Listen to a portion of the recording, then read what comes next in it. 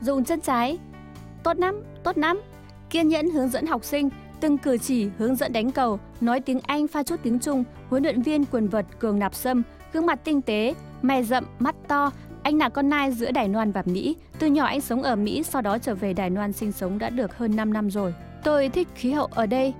Nhiệt độ, thời tiết mùa hè tôi cảm thấy cũng có thể đi đánh quần vợt, sẽ không bị lạnh cóng. Thích thời tiết Đài Loan và càng yêu tình người nồng hậu, anh Sâm đã lựa chọn Đài Loan để định cư.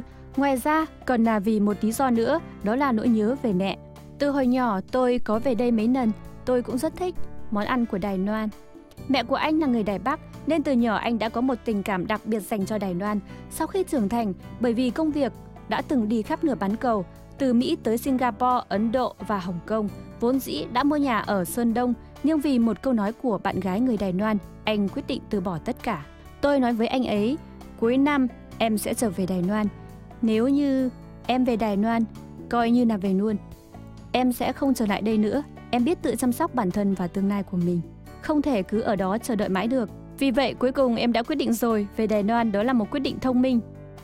Bạn gái bây giờ đã trở thành bà xã, hai vợ chồng trở về Đài Loan, tất cả bắt đầu lại từ đầu và cùng nhau tham gia vào công việc người mẫu. Đóng quảng cáo với nụ hôn trồ mến, ở bên ngoài tình cảm vợ chồng cũng rất sâu đậm. Hai người cùng trưởng thành ở thành phố, ngày nghỉ rất thích lái xe đi du lịch.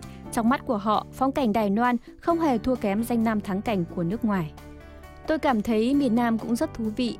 Tôi có đi tham quan một bộ lạc. Tôi cảm thấy rất đẹp, có một số địa điểm hơi giống với Hawaii. Thời tiết và cảm giác là ở đảo. Mới đầu anh Sâm quay về Đài Loan là vì muốn tìm hồi ức của mẹ, bây giờ cùng với vợ, tay trong tay vun đắp cho cuộc sống ở Đài Loan, tình cảm của hai vợ chồng cũng càng ngày càng thắm thiết.